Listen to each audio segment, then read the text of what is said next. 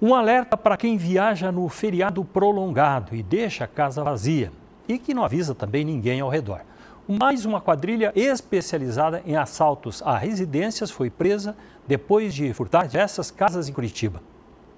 Imagens de câmeras de segurança mostram o momento em que os criminosos entram na casa. Eles não encontram dificuldades e, em poucos minutos, saem com objetos pessoais e aparelhos eletrônicos. As ocorrências foram registradas na manhã de domingo em vários bairros da capital, mas sempre com o mesmo veículo. O primeiro assalto foi informado à polícia às 8h20 da manhã no Campo Comprido. Na sequência, às 8h30 na cidade industrial. No fim da manhã, as denúncias chegavam do Xaxim, Boqueirão e Uberaba. A polícia chegou até os criminosos após denúncias de vizinhos que conseguiram identificar o veículo, um Peugeot Prata. A Rony foi até o local indicado pelos suspeitos e encontrou joias, relógios, aparelhos eletrônicos e radiocomunicadores. Tem três rádios comunicadores ali, é, inclusive ali funcionando.